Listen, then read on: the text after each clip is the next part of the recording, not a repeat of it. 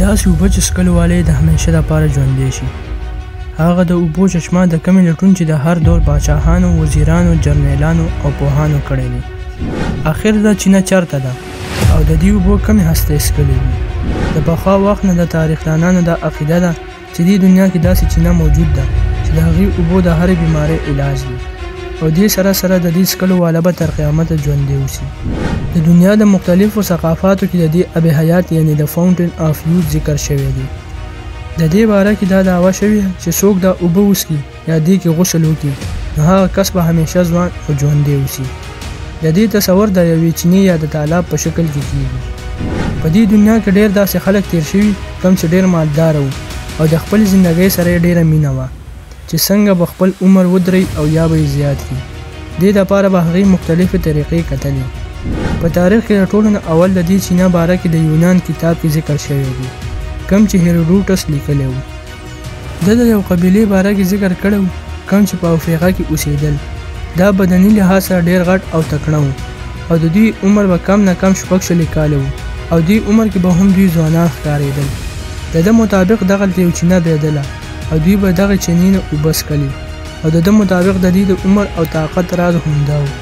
هیروډوټوس لیکلي دي چې د ایران باچا چې کله دغلته رالی نو دې خلکو هغه ته هم دا چینه وښودله. او کله چې هغه دیګ ولامبل نو د هغه بدن ډېر چمکدار او ښایسته شو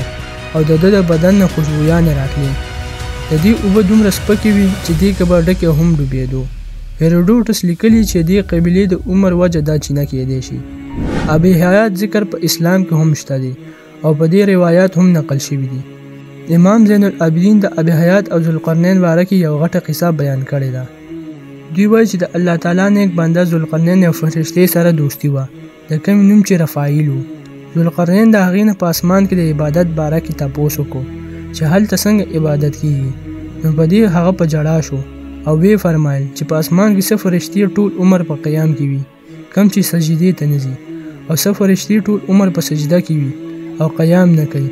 او الله تعالی ته فرمایي چې یا الله موږ ستا د عبادت حق ادا نه کړو نو په دې دوی رفایل ته وفرمایل چې زما ارمان دی چې الله ما ته اوږده زندګي راکړي چې زه د الله تعالی په عبادت کې تېره کړم نو دوی ذوالقرنین ته د دې چینې باره کې وویل د کمې نوم چې ابي بقا یا ابي حیات دی دوی اوبه چې چا وڅښلې نو هغه ته به مرګ نه راځي تر څو چې د خدای نه په خپله د مرګ طلب ونه کړي.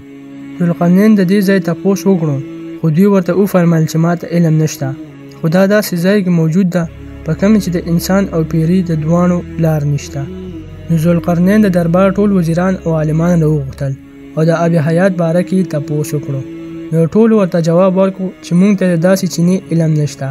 خو دې کې د یو عالم ورته جواب ورکو چې ما د حضرت آدم علیه السلام وصیت کې لوستلی وو چې د سام بن نوح په اولاد کې به یو کس پیدا کیږي او هغه به د دې چینې نه اوبه څښي کومه چې هلته ده چرته نه چې نور کوزیږي نو حضرت ذوالقرنین د سفر سامان وتړو او په سفر روان شو او خپل وزیر یې هم ځان سره کو د کم نوم چې حضرت خضر علیه السلام وو کم چې عدد ترورځی وو دوی مسلسل دولس کاله په سفر وو او دولس کاله پس دوی دغلته ورسېدل ذوالقرنین د خپل لښکر نه شپږ زره مقابل فوجیان واغستل او دغه وادۍ ته وردننه شو دې کې حضرت خضر علیه السلام هم وو دوی چې څنګه دغلته وردننه شول نو زوردار طوفان شو او تندرونه شول د دوی لښکر ګډوډ شو. څه وخت پس ذوالقرنین ښي طرف ته تللی و او حضرت خضر علیه السلام ګس طرف ته تللی و. حضرت خضر علیه السلام په ناپوهۍ کې دغه چینې ته ورسېدو او دا ډېر تږی شوی و هم و. نو دوی دغه چشمې نه اوبه وڅکلې او غسل او یو داسې هم پکې وکړو. دا چشمه د پیو نه زیاته سپینه او د شاتو نه خوږه وه ذوالقرنین واپس د وادۍ نه ووتو خو چینه ورته میلاو نه شوه ځکه چې د ابي حیات د هغه په نصیب کې نه و بلخوا حضرت خضر علیه السلام ته د دې اوبو نه حیات ملاو شو او دوی به تر قیامته پورې ژوندي وي. د الکسندر رومانیس نومي کتاب کوم چې د سکندر اعظم په نوم لیکل شوی هغه کې هم د دې چینې ذکر شته چې هغه د دې چینې په لټون وتی و او دغه تور وادۍ ته رسیدلی و دوی دغلته ښکار وکړو او دغه تالاب په غاړه یې دمه کوله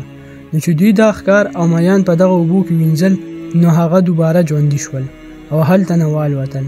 د سکندر وینا وه چې دغه چینه د جنت نه رابېږي، نو ځکه دې کې د زندګۍ ورکولو طاقت موجود دی. چې دغه اوبه سکندر وڅښلې او که نه او دا چرته وه، دې باره کې تاریخ چوپ دی. که موږ غور وکړو نو موږ ته پته لګي چې قرآن کې هم د دې طرف ته اشاره شوې ده. واقعه څه داسې ده چې یو ځلې حضرت موسی علیه السلام بني اسراییلو ته خطبه ورکوله. نو هغې ترې تپوس وکړو چې د ټول نه زیات علم چا سره دی نو هغې جواب ورکړو چې ما سره نو الله تعالی ورته حکم وکړو چې تاسو سره زما یو بنده د دوو دریابونو ترمنځ ملاویږي چا ته چې ما یو علم ورکړی دی کم چې تاسو سره هم نشته نو دوی د هغې سره د ملاویدو ارمان ظاهر کو نو الله تعالی ورته وفرمایل چې ځان سره یو مړ مې واخله او داسې ځای ته لاړ شه چرته چې دوه دریابونه یو بل سره ملاویږي کله چې دا ندامه ورک شي نو هلته به درسره زما بنده ملاو شي دوی ځان سره خپل خادم روان کو او یو مئی ځان سره واغشتو کم چې مړ وو دوی یو مقام ته ورسېدل چې هلته دا مئی ژوندی شو او د یو لارې په ذریعه دریاب ته کوش شو چرته چې دوی نه دا ماهي ورک شو هلته دوی یو کس سره ملاو شول د چا نوم چې حضرت خضر علیه السلام وو دلته دا سوال پیدا کیږي چې دا مې څنګه ژوندې شو او بو ته لاړې نو د امام ابن کثیر او تبریز قول دی چې په کم کانی چې دا مې اخودل شو د دې لاندې دغه چینه وه او د دغه اوبو د ساسکو د وجې دا ژوندې شوی دی دغه سې د یو لاتینی سیا جون منډویل کتاب د ټریوس اف سر جون منډویل کې هم د ابي حیات ذکر شوی دی د دې مطابق د هندوستان علاقو کولان کې دا چینه په غرایزو علاقو کې موجوده وه د په خپل کتاب کې لیکلي دي کله چې دا په سفر د علاقو طرف ته تللی وو نو دغلته یو کوی وو چرته چې به د مختلفو مسالو خوشبو راتلو او هره ګنټه به دا خوشبو بدلیدله د دغه ځای د خلکو وینا وه چې دوی اوبو سره هره بیماري ښه کیږي او مسلسل څکلو سره انسان ځوان وي، کومې ته چې د ویل آف یوت ویلی شو. په یوولسمه صدۍ کې دا قصې بیا تازه شوې کله چې یوولس سوه پنځه شپېته کې کریستن جون بازنطیني باچا ته خط ولیکو دې کې ده لیکلي وو چې افریقا یو علاقه کې دا چشمه ده چې دې کې په لامبلو عمر دیش کاله شي که هغه بوډا هم وي د دې چینې باره کې ذکر په انجیل کې هم ملاویږي د دې کتاب مطابق چې څوک دی اوبو کې ولامبي د هغه به هر در او هره بیماری ټیک شي